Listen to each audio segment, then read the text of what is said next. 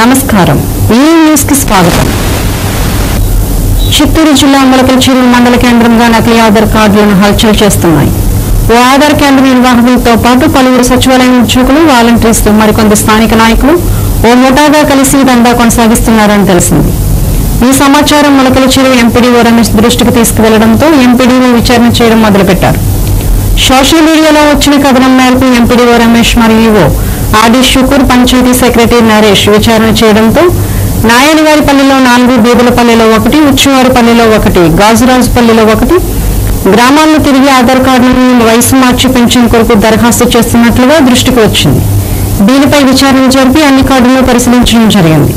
మార్పు విషయంలో నిజమే అని తెలిసింది. గుర్తించిన కార్డు బాకస్ కార్డులుగా తొలగించడం జరిగిందని ఎంపీడీఓ రమేష్ తెలిపారు.